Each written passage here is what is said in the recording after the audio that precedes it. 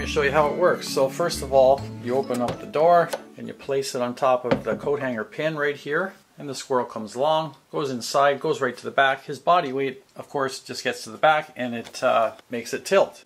When it does that, the door slams shut. He goes towards the front of the trap to get out, and that brings it down to this piece of wood, and the door cannot open. Then you just come over to the wing nut right here, and you place it in the door. Then you can just pick the trap right up and carry him to wherever you want. Then you just simply remove the wing nut. Then just use this little screw to lift the door open and there's an elastic band attached to the handle to hold it open. The handle on the top is just a piece of coat hanger. Now the best part about this trap is every single part of it is adjustable so that you can tweak everything to get it just perfect so it's balanced right and the door slams shut just perfectly.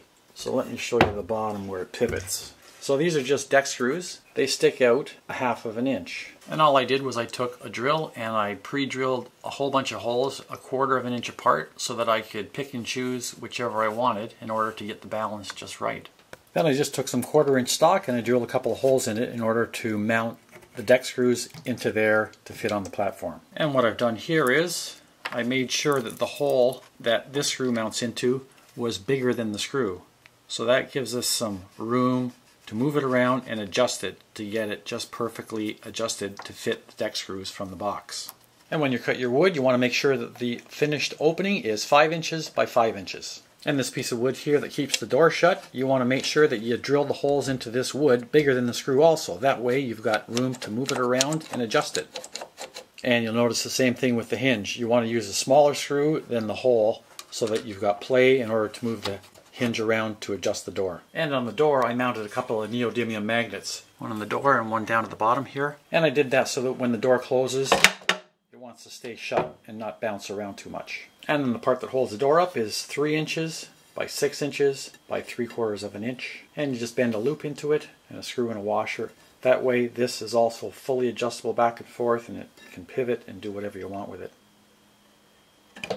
The wing nut that I made up is just a 2 inch deck screw with the head ground down to fit inside of a 5 16 wing nut. Then I just applied some epoxy and it made a neat little screw.